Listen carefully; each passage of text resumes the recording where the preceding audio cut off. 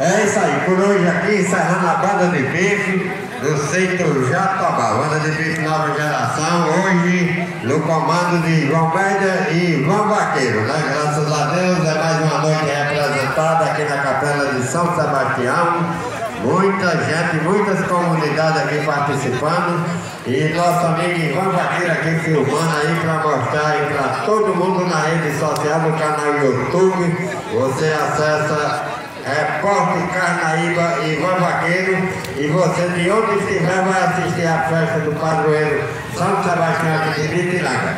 São, essa já é a centésima, décima oitava festa do padroeiro. São 118 anos de festa aqui no distrito de Vitilanga realizada aí com muito sucesso, muita paz, muita alegria e muito amor.